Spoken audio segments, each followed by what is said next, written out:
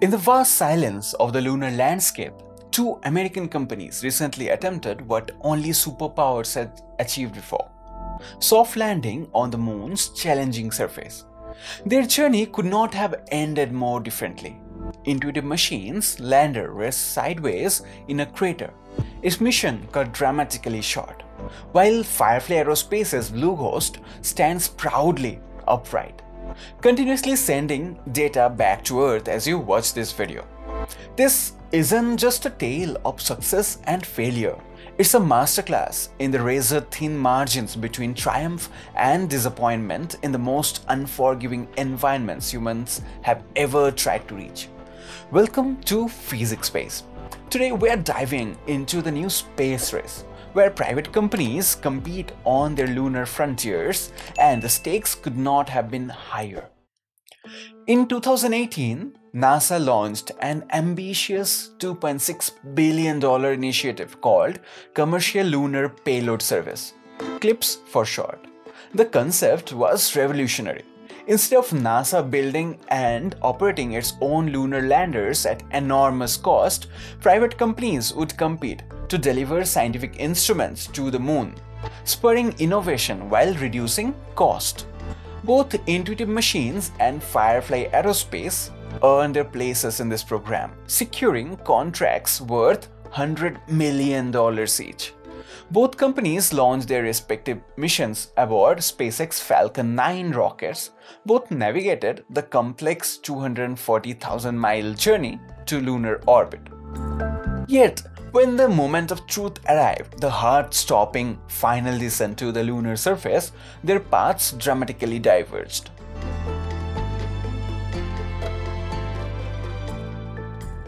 Houston-based Intuitive Machines made history in February 2024 when their Odysseus lander became the first US spacecraft to touch the lunar surface since Apollo. Though Odysseus landed, it didn't land well tipped on its side after touchdown. Despite this setback, the team extracted valuable data and declared the mission a qualified success. Fast forward to early 2025 and Intuitive Machines was ready for redemption with their second mission. Athena launched on February 26th carrying an ambitious payload. NASA's Prime 1 drill, designed to search for water ice, multiple advanced sensors, and even experimental 4G network equipment. The mission target the challenging highlands of Mons Mouton, near the lunar South Pole, an area of extraordinary scientific interest but treacherous terrain. Athena's journey started flawlessly. The spacecraft separated perfectly from its Falcon 9 upper stage, executed precise trajectory corrections, and entered lunar orbit on March 3rd. But as Athena began its power descent on March 6th, critical problems emerged. At an altitude of approximately 15 kilometers, the lander's enormous navigation system began reporting conflicting data. The primary laser detection and ranging system, LiDAR, essentially a laser altimeter designed to provide precise distance measurements, was delivering unreliable readings. This forced the guidance computer to rely on its secondary navigation Doppler LiDAR system, which was not fully calibrated for the challenging lighting conditions near the lunar south pole. In the final moments of descent, from approximately 100 meters altitude, Athena's thrusters began firing inconsistently, as the guidance system attempted to compensate for the erroneous navigation data. The spacecraft began drifting laterally, moving approximately 820 feet from its targeted landing site and ultimately setting down in a small crater at an excessive velocity. The impact was hard enough that one of Athena's landing legs collapsed, causing the $118 million spacecraft to tip on its side. In this orientation, Athena's solar arrays could not capture sufficient sunlight to maintain power. Though mission controllers heroically activated several scientific instruments during the lander's final hours of operation, including briefly deploying the Prime 1 drill, Athena's batteries were depleted within 10 hours of landing. The second mission had also ended in disappointment.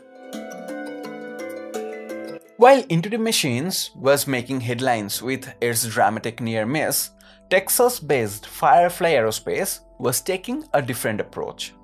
Their Blue Ghost lander, named after a rare luminescent firefly species, launched on January 15, 2025, began a 45 day journey to the moon. Blue Ghost's design philosophy differed significantly from Intuitive Machines' approach. Standing 2 meters tall and weighing 250 kilograms at launch, Blue Ghost featured a broader, more stable base with four widely spaced legs. Its center of gravity was intentionally kept low to minimize stability during touchdown.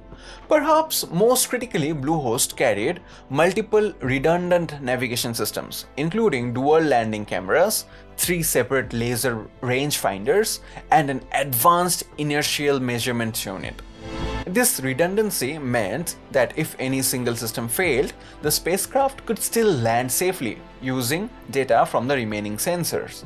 Firefly also took a more conservative approach to landing site selection.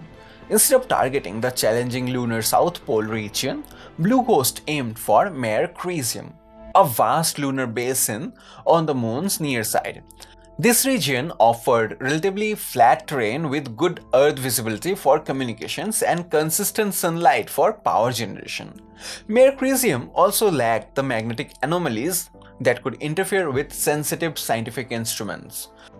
On March 2, 2025, after a textbook journey to lunar orbit, Blue Ghost began its powered descent.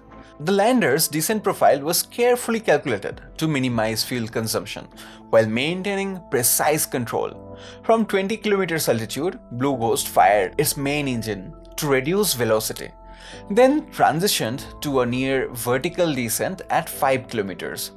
The spacecraft's cameras consistently scan the surface, autonomously identifying and avoiding potential hazards. At 100 meters altitude, Blue Ghost hovered briefly while its hazardous detection system confirmed a safe landing zone, then maintaining a steady 2 meters per second descent rate. The spacecraft gently touched down at precisely 3.35 am Eastern Time, Within 40 minutes, Blue Ghost transmitted its first image, a crystal clear view of the lunar surface with one leg visible in the frame. When we directly compared these missions, several critical differences emerged that determined their fate. Navigation system architecture. Intuitive machines relied heavily on an experimental laser altimeter system that was not fully validated for lunar conditions. When this primary system delivered inconsistent data, the backup systems were not robust enough to compensate. Firefly, by contrast, implemented triple redundancy in their navigation systems. Even when one foot sensor failed to register lunar contact correctly, an issue they openly acknowledged, the overall landing succeeded because multiple backup systems were in place. Landing site selection. Intuitive Machines chose an extraordinarily challenging landing zone near the lunar South Pole. This region's rugged terrain, dramatically varying topography, and challenging lighting conditions magnified any navigation errors. Firefly's selection of Mare Crisium provided a much more forgiving environment for their first landing attempt. Mechanical design philosophy. The recurring tipping issue with intuitive machines lander suggests fundamental stability problem in their physical design. Athena's slender profile with a high center of gravity made it inherently vulnerable to tipping when landing on uneven terrain or with residual horizontal velocity. Blue Ghost's wider stance and lower center of gravity provided crucial stability margin during the landing phase. Mission Complexity Management Intuitive Machines attempted to accomplish multiple groundbreaking objectives simultaneously, landing near the challenging South Pole, operating sophisticated drilling equipment, and testing experimental communication systems. This complexity increased mission risk. Firefly took a more incremental approach, focusing primarily on achieving a stable landing with a more straightforward scientific payload. Testing and simulations. Industry insiders reported that Firefly conducted over 15,000 hours of landing simulations before launch, testing their guidance software against countless failure scenarios. While Intuitive Machines simple human error with laser altimeter configuration suggests potential gaps in their testing protocol. So, what do we learn from this? These contrasting missions offer invaluable guidance for future commercial lunar endeavors. Forgive me, I'll be a little unforgiving today. Number 1. Redundancy is non-negotiable. In the unforgiving lunar environment, single point failures can doom otherwise well executed missions. Firefly's multiple backup systems proved essential when one sensor failed during landing. Future missions must build in similar redundancy for all critical systems.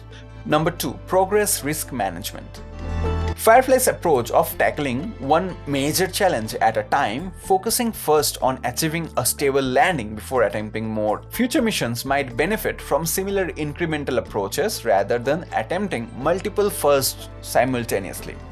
Number 3. Conservative margins. Blue Ghost's wider landing gear stance, more powerful descent, and conservative Fuel margins provided crucial safety buffers.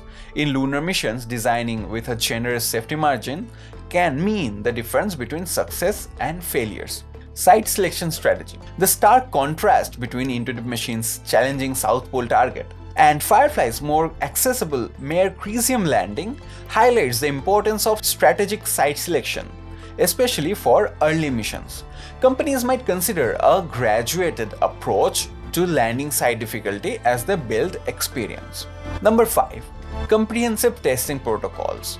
The software configuration error that compromised Intuitive Machines' navigation system highlights the critical importance of exhaustive testing under realistic conditions. Future missions will benefit from more rigorous verification of all flight systems.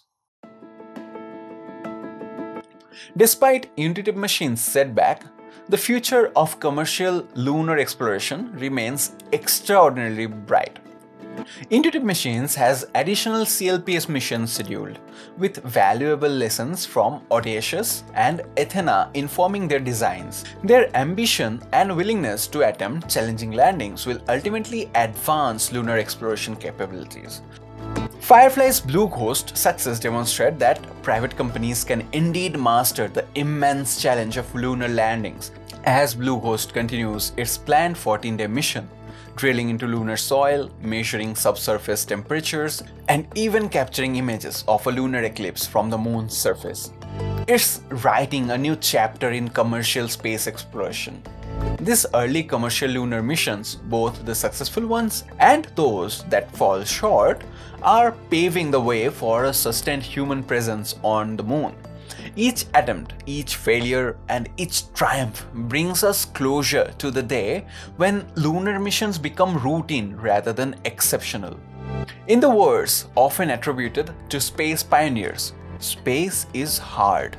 But as these missions show, with persistence, learning, and innovation, even the hardest challenges become solvable. The moon, our closest celestial neighbor, is finally within commercial reach, opening a new frontier for science, exploration, and human spirit of adventure.